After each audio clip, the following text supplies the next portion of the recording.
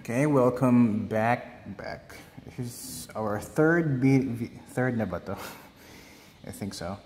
Uh, third video for our uh, topic or chapter centroid, solving for the centroid and center of gravity of plane uh, areas. So composite areas. So we're, we're, our focus is on composite uh, areas. Okay. So locate the centroid, x bar and y bar of the composite area shown in the figure. So this is a bit uh, uh, tricky. Tricky ba to? Hindi naman yata masyado. so, so for the centroid of this area, so both ano, the, the coordinates uh, x bar and y bar since uh, talagang irregular, irregular ba? Okay yung shape natin. Shape na given. Okay? So, how do you solve for the same same principle pa rin? Okay? So, let's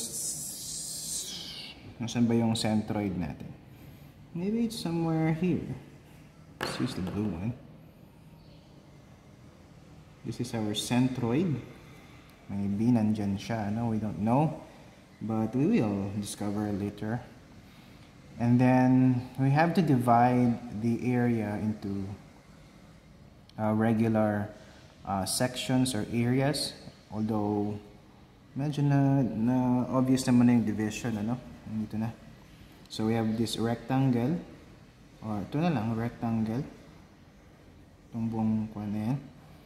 And we have this triangle. No, uh, let me and if it's visible. Ito na lang. Yung division natin. So itong rectangle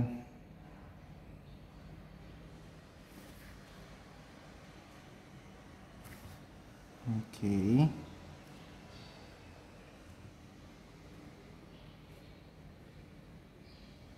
Yan, buong yan na. Huwag nyo nang i-separate itong square, no? Hmm, ito na lang, buong yan na lang. Okay? And then, itong isang triangle. Ito, triangle. Right triangle siya. And then, of course, ito. Okay. ito, medyo kanto na. So, later on, ang gawin natin para ma-solve yung area para hindi masyadong komplikado ano.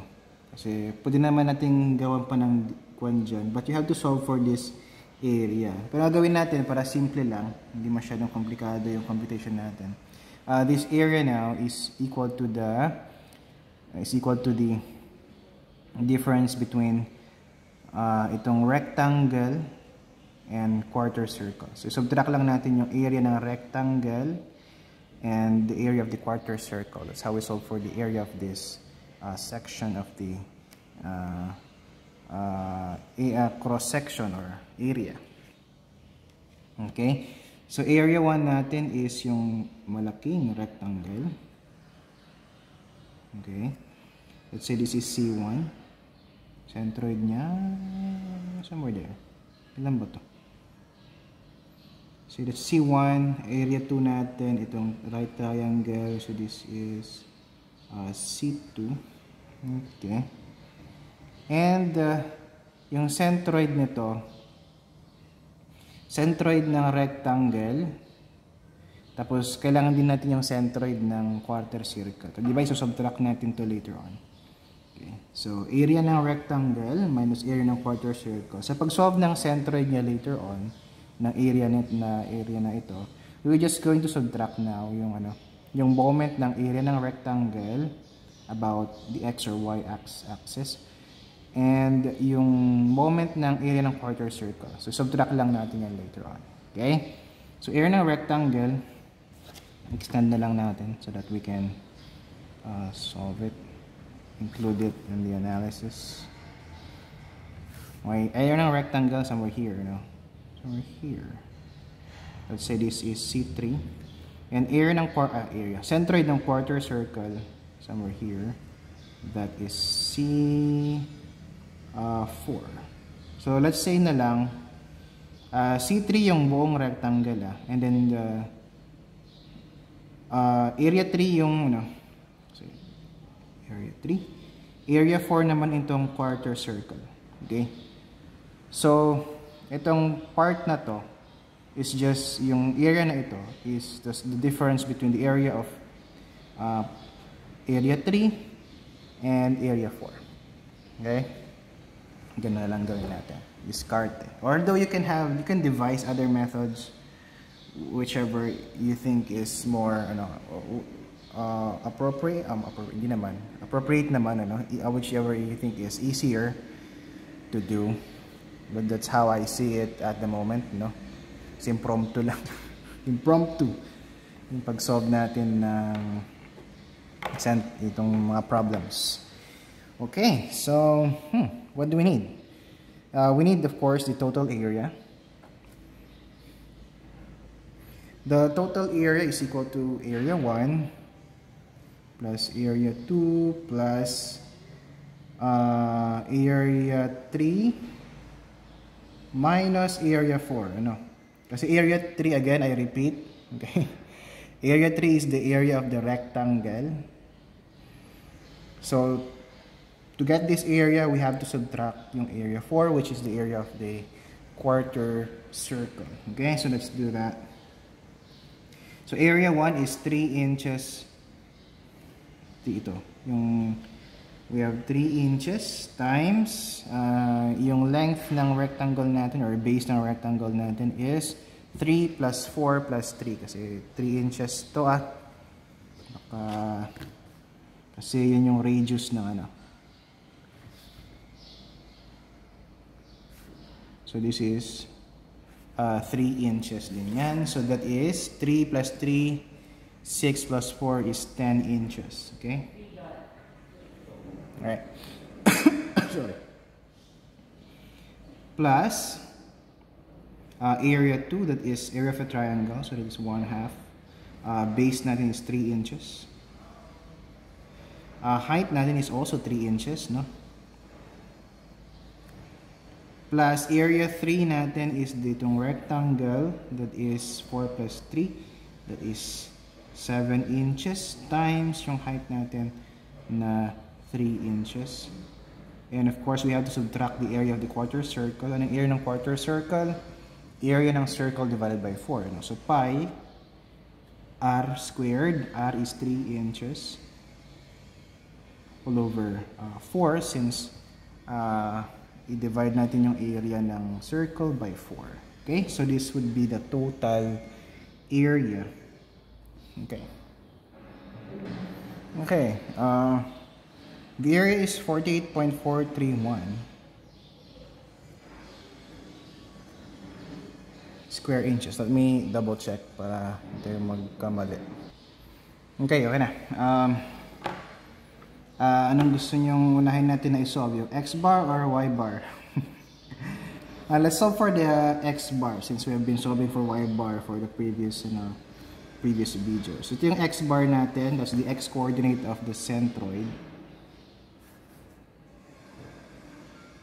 x bar ito okay okay x bar x bar ito naman yung y bar natin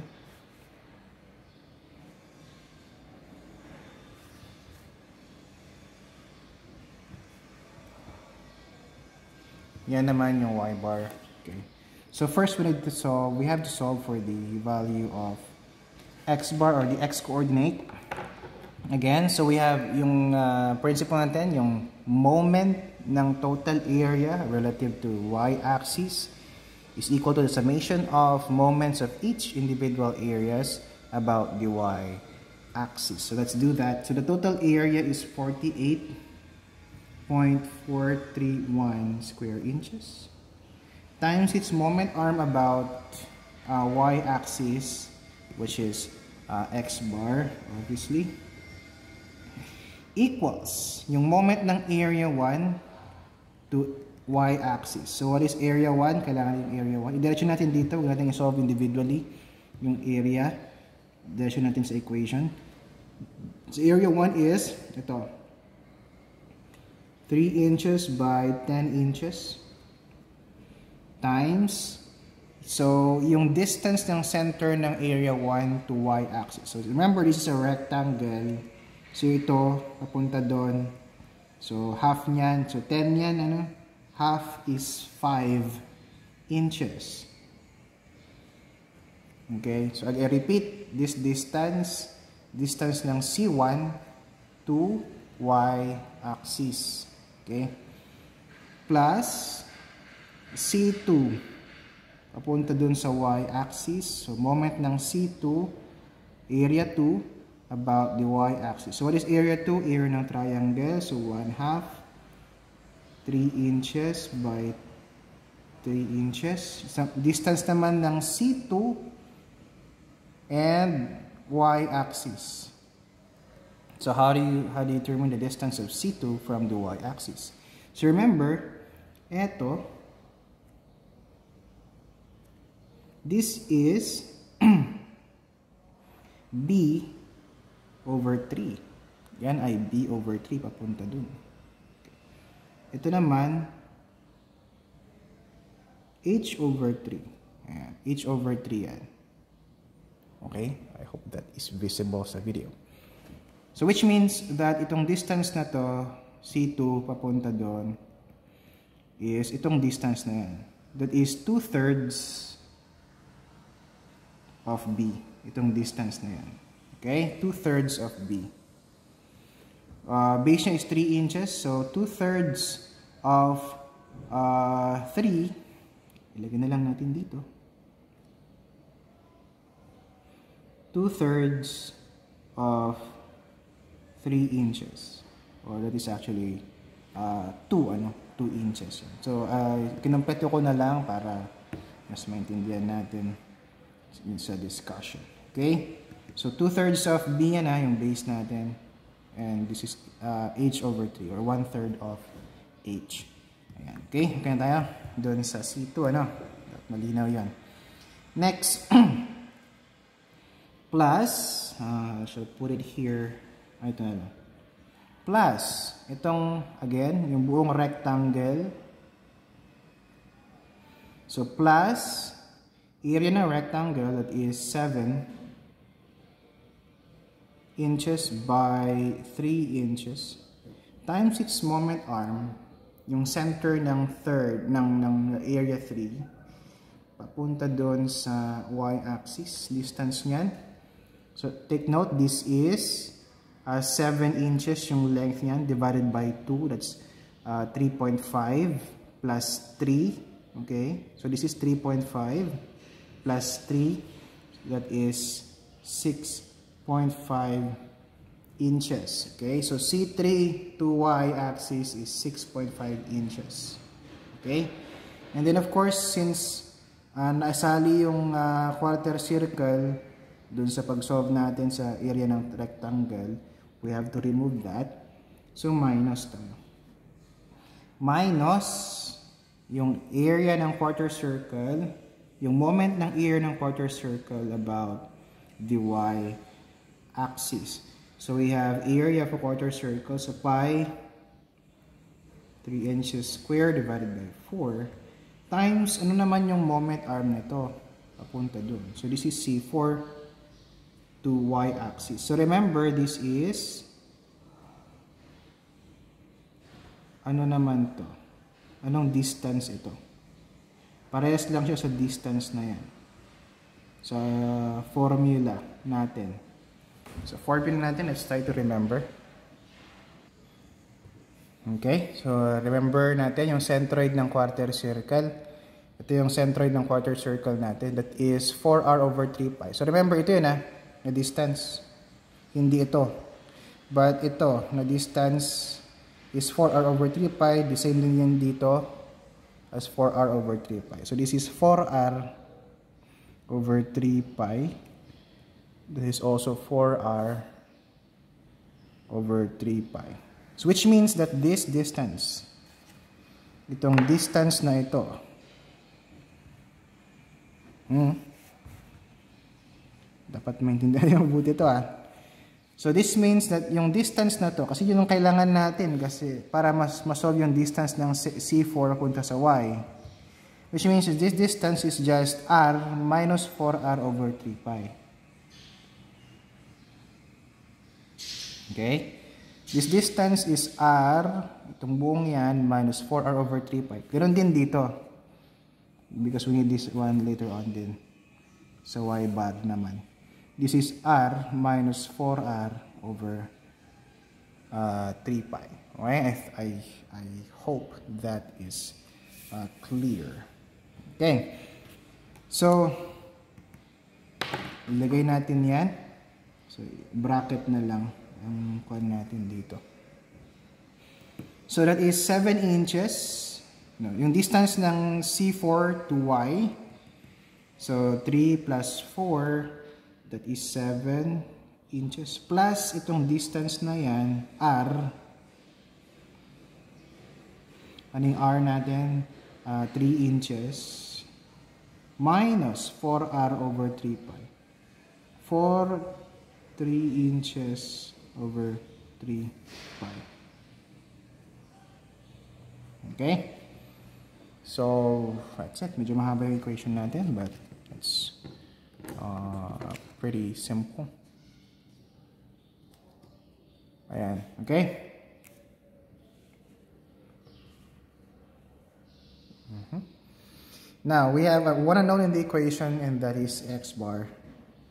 So, sabi sa problem, x bar is 4.83 uh, inches. We'll see later on. Uh, solve natin yung x bar. So, the answer is uh, x bar is equal to 4.828 uh, inches. Or that is, uh, parehas lang doon. It's two decimal places lang kasi itong nilagay na sagot dito. But it's actually 4.828 inches. Okay? That is uh, X bar. Okay. I hope that is clear. Okay? Uh, next, uh, we solve for Y bar naman. Y bar.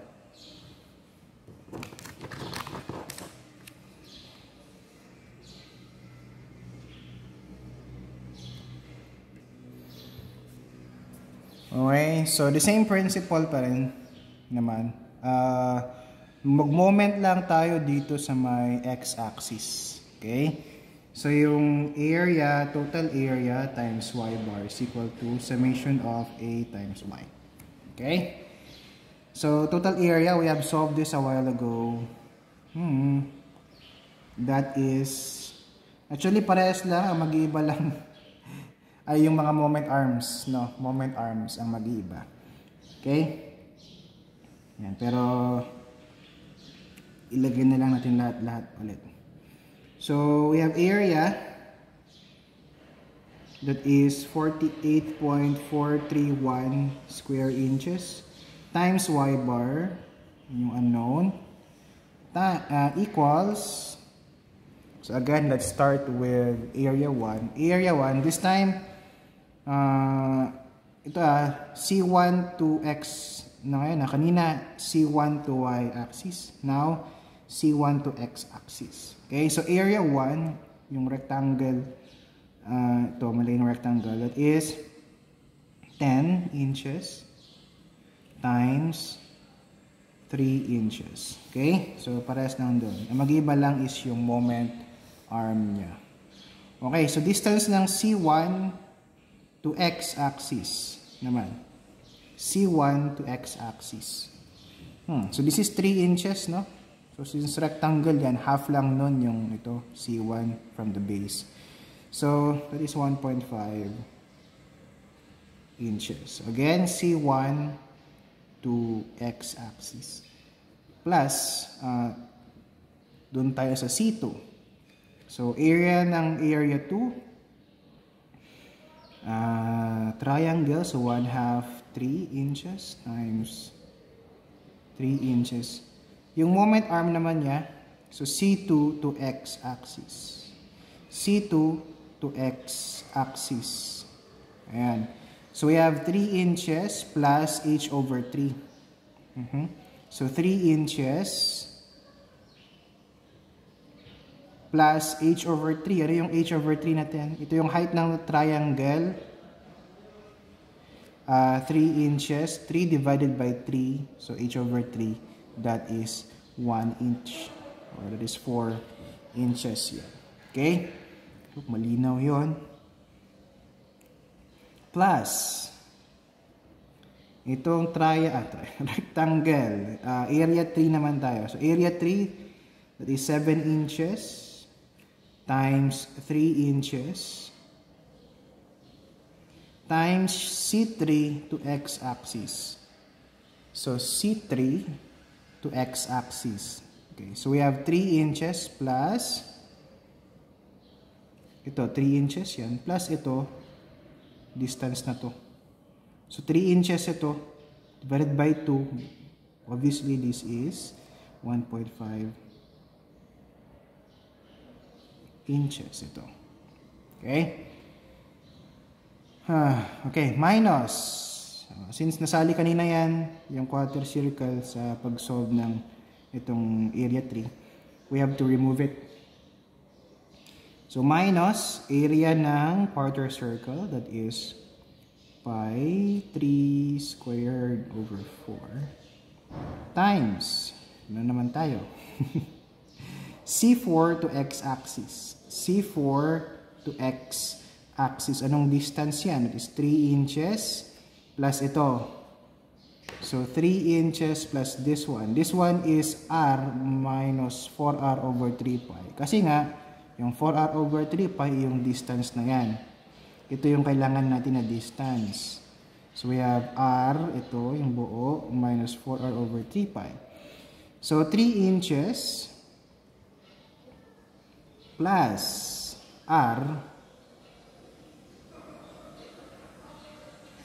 R, ano yung R? Uh, 3 inches. Minus 4R over 3 pi. So, 4, 3 over 3 pi. Dalawang beses ko nang ginamit yung parenthesis. Hmm. Ayan. Okay na. I hope na klaro yun. And then, you can now solve for y bar. So, solve for y bar. Okay, so the answer is 2.562 inches. Okay? So yung coordinates natin, yung coordinates ng centroid natin is, uh, yung x bar, x coordinate natin is 4.828 inches. And y bar natin, oh my goodness. So 4, hindi pa nakita sa video.